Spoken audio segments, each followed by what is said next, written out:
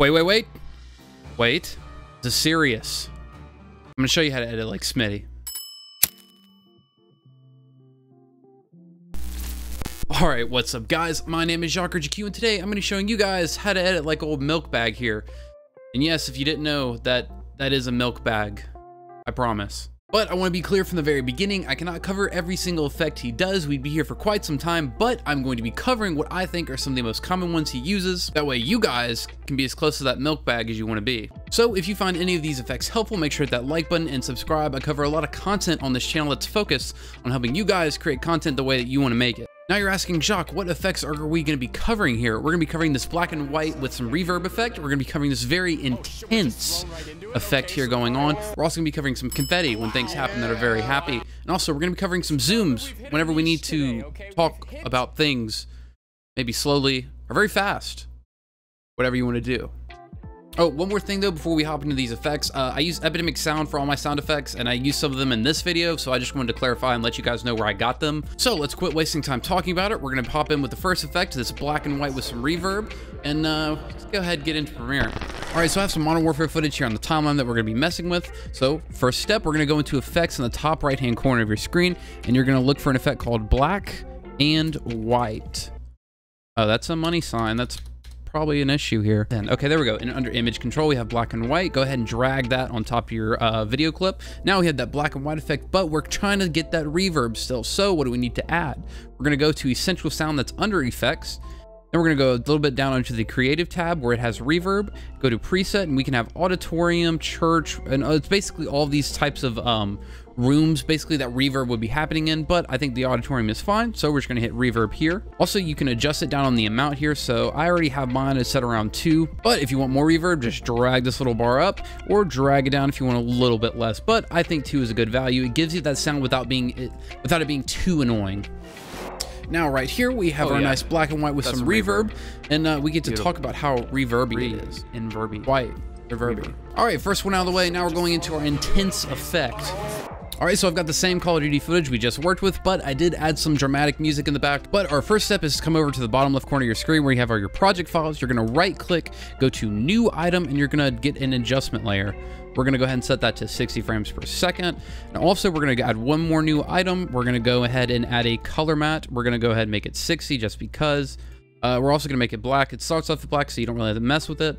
Now we're to go ahead and change this name to black matte just so we know what we're messing with here. Now we're to drag our black matte on top of our timeline. We're also to drag that adjustment layer. Now these are a little long, so I'm just to select over them and uh, trim them down a bit. So for our first thing we're to do, we're to go to this black matte. We're to go to effects controls in the top left corner of your screen. We're to go under motion and then we're to see this value of 450. That's to be your Y value. So going to left click and then drag it down a little bit so you have that bottom black bar to mess with wherever you really want to have it.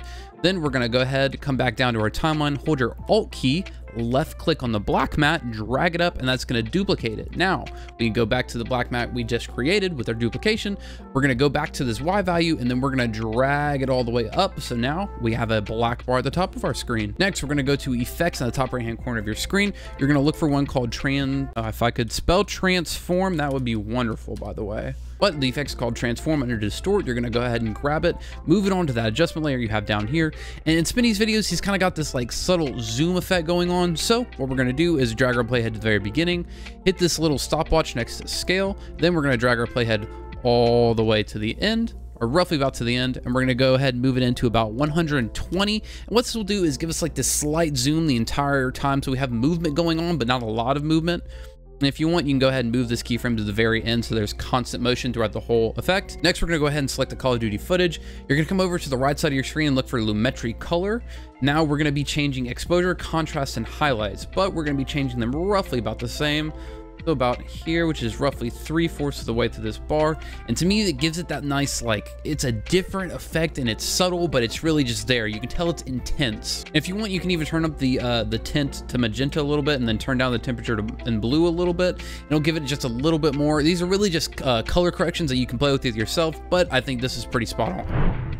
And now we look here, we Honestly, have something pretty intense. intense going on. So now we're done with that. We're going to go ahead and move into our next effect, which is going to be this nice confetti. So on um, one side note, this effect is probably the most annoying out of all of them because there's a lot of things going on, but from, from here it's downhill. That's nice.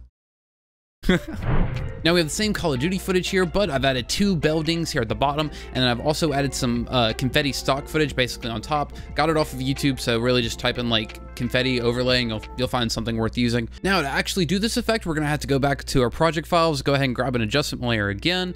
Uh, we're gonna go ahead and trim this down because we don't need a lot of this. We're also gonna need to duplicate this one more time down. We're going to trim it down to about this size and then duplicate it one more time. Go ahead and grab these and try to line it up to where the middle of the smaller adjustment layers is roughly at where your uh, confetti clip starts. Now for your very bottom adjustment layer, you're going to need to go to effects in the top right hand corner, go to replicate. Go ahead and drag that onto the bottom one. And then you're also going to be looking for an effect called mirror. Now, you're going to be dragging mirror onto your bottom adjustment layer four times. Yes, number four times. Trust me, you, uh, you're going to need. Then you're going to go back up to effects in the top right, look for one called transform. Still don't know how to spell it. Go ahead and drag transform onto your middle adjustment layer and your top adjustment layer. Now we're to start with this bottom adjustment layer. So once we have it selected on our timeline, go to effects controls in the top left hand corner of your screen. We're going to go to replicate, change that value from 2 to 3. Now we're going to move down a little bit more and we have all of our different mirrors. What I'm going to do is go ahead and minimize the mirrors we're not messing with and make this a little bit cleaner and easier to mess with. Now under our first mirror, we're going to change our Y value to 720. Then we're also going to change our reflection angle to 90 degrees. We're done with our first mirror. We're going to go to our second one now. We're going to be changing our Y value to 360. Then we're going to be changing our reflection angle to negative 90. Now minimize that and go down to our third mirror. We're going to be changing our X value to 640 and then our reflection angle to 180. Now, lastly, we're going to be changing our X value to 1278. Now, essentially what this does is uh, we take that video in the middle screen, we've replicated it to where it's a nine video square, and then we've kind of just like mirrored everything around it. But what it'll do is like clean up the edges and trust me, it helps a lot. So now we're done with that bottom adjustment layer. We're going to go to our middle one. We're going to go to effects controls in the top left. We're going to scroll down a bit. And this whole time we're going to be editing scale. So let's go ahead and hit the stopwatch next to scale and we're to change our first value to 300. We're to move our playhead all the way to the end. We're to hit our add keyframe. That's going to add one more 300 keyframe right there. Now we're to grab our playhead on our timeline and move it to where your confetti clip starts. Then we're to go to scale and we're going to change this value to 250 and then go use your arrow keys to go over one frame and we're going to change this value to 400. Now also what you're going to have to do is select all these keyframes. Then we're going to right click, go to Bezier. That's going to help us out a lot. Then hit the little arrow next to scale and go down here. Now what you're going to have to do is select this first keyframe, grab this little line and drag it as far right as possible, trying to keep it kind of like uh, straight to where it's nothing, no, no curves going on with it. Then you're going to grab this line and move it pretty short here, roughly about this length Try to have it pretty straight too. Next, you're gonna go to the right, do the same thing, kind of shorten this uh, shorten this keyframe out a bit. Try to drag as close as possible. Now we're gonna have to move this keyframe in to edit a bit. Uh, we're gonna drag it out as long as possible, move it back, and there you go. That's gonna be it for that middle uh, adjustment layer. So now we're gonna go to the top adjustment layer, and effects controls. Gonna scroll down a little bit more. Now we're gonna be editing position and rotation. So go ahead and hit the stopwatches next to both of those. Rotation can stay at the beginning, but we're going to be editing position a little bit farther in. So first we're going to mess with rotation. We're going to be changing our first value to 0.5.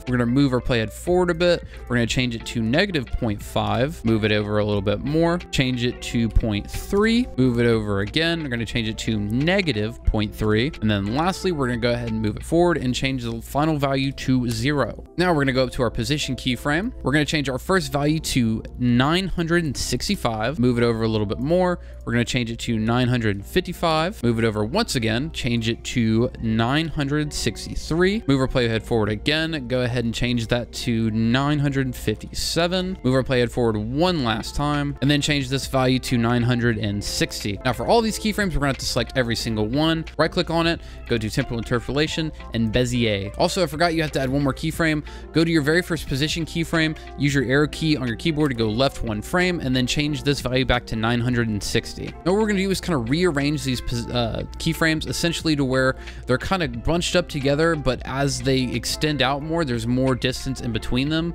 Now, essentially what you want to have going on is the distance between your first two keyframes here. You're going to want to double that for your second, double that again, and then double that one more time. So drag that a little bit more. Then we're going to replicate that with these uh, rotation keyframes, and it's gonna be basically it. This is roughly what your final product should look like. It's not exact, but trust me, if you get close, it's gonna look fine. All right, now here you go. Here's your nice confetti explosion, a little bit of shake going on, and something really nice to look at. All right, now lastly, we're gonna have the zoom thing going on where you either you're jumping in really quickly or you're slowly moving in, but all of it's to do with scale. So let's get into it. All right, once again, we have our nice Call of Duty footage. We're gonna go to project files down in the bottom left. We're gonna grab an adjustment layer, move it on top of our clip, trim it down because we don't really need all of that. Now we're gonna go to effects controls in the top right. We're gonna be looking for our friend transform and oh, I spelled it right the first time. Nice. All right. Drag that onto your adjustment layer. We're going to go to effects in the top right. Now, there are a lot of different motions going on, but everything here is to do with scale. So I'm going to show you exactly what to do. Not really like a hard set line of what you need to be doing, but once you guys understand it, you can do it in whatever way you want. So the first one we're going to be covering is when basically you have like zooming in very quickly. All you have to do here is go ahead and hit the uh, stopwatch next to scale. Basically what you do is you use your arrowheads on your keyboard, move one frame over, and then move on however much you want. Uh, let's go ahead and say we're going to move in 200 here and uh, basically, whenever you watch it through, it's going to zoom in very quickly and that's all you really need to have going on. Now let's say you don't want it to zoom in very quickly, right? Let's say you just want it to zoom in slowly and all you have to do is take the two keyframes we just made and then just them out. We have our 100 at the beginning, and then it slowly zooms in. Now, let's say you want to have it zoom in multiple times, right? Let's go ahead and move this 200 close to this 100 again. Uh, let's say we're going to have it go forward a little bit more. We're going to have a 200 here. Then once again, we're going to use our keyboard, move one frame forward. Uh, let's go ahead and change it to 250 this time. And that's all you have to do. So now at the very beginning, we jump in really quickly. We wait for a minute, then we jump in again. So do that as many times you want, replicate it, whatever. That's all you got to do. All right, and then here you go. Here's the zoom effects we've got going on, and that's everything I've got to say about old Milkbag here. So hopefully you guys found this video helpful. If so, make sure that like button and subscribe. I cover a lot of content on this channel that's focused on helping you guys create content the way that you want to make it. Also, let me know down in the comments below if there's another effect or somebody else you want me to cover in a future video. And until next time, peace. I'm I'm on the same boat as you. I don't know. I just feel like playing defense. I, I, I, I can't. I can't. He's cheating.